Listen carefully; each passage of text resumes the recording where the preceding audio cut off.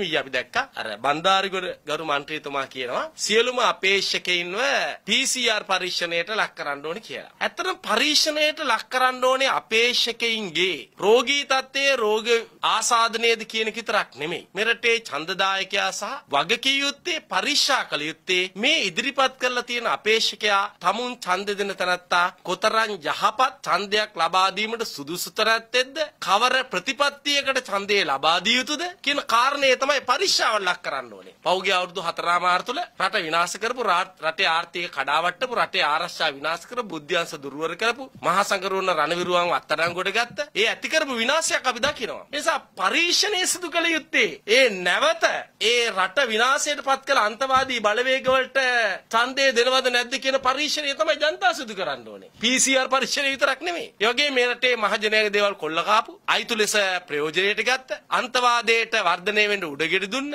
මේ රටට සංස්කෘතියට හානිකර වැඩපිළිවෙල ක්‍රියාත්මක කරපු ඒ රටට විරුද්ධ තනත්තන්ටද ඡන්ද දෙන්නේ. මේ තනත්තෝ රටට විරුද්ධව ක්‍රියා කළාද නැද්ද? අන්න ඒ පරීක්ෂණය තමයි සිදු කළ යුත්තේ. ඒ නිසා රටට යහපත් අනාගතයක් සිදු කළ හැකි කාර්ද කියන පරීක්ෂාවන්. එවැනි යහපත් පුද්ගලයන් තෝරා ගැනීම පිළිබඳ පරීක්ෂණයක් තමයි මැතිවරණයකදී ප්‍රමුඛතම පරීක්ෂණය විය යුත්තේ.